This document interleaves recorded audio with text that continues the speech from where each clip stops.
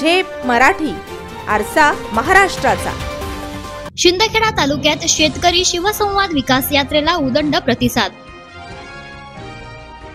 सरकारने खात्यात पैसे जमा करून लाडक्या बहिणींची केली वचनपूर्ती.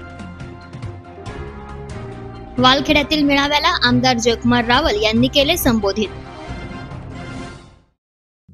धुळे जिल्ह्यातील शिंदखेडा मतदारसंघात भाजपचे आमदार जयकुमार रावल यांनी सुरू केलेल्या शेतकरी शिवसंवाद विकास यात्रेला उदंड प्रतिसाद मिळतोय.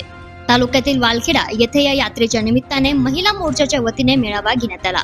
मेळाव्याला पाच हजारांपेक्षा जास्त महिलांची उपस्थिती होती.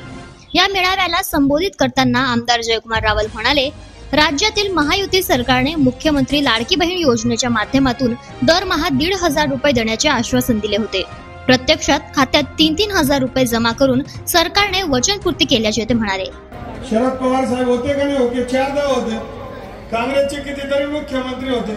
मग त्यांना कबल लाडक्या बहीण आठवल्या नाही त्यांना कबल लाडक्या बहीण आठवल्या नाही आणि मग या भाऊला लाडक्या बहीण आठवल्या. तर त्यांचं पोट कशाला गडगड करतंय. आणि जलने वाले जलते रहे. हम तो आगे चलते रहे. असंच आपलं राहणार आहे. त्या चर्चेमध्ये मी तर लोकांमध्ये काम करतो. नवरा बायकोनी भांडण मतदारसंघातले सगळे माझे नातेवाईक हे सगळे माझे भाऊ आहेत.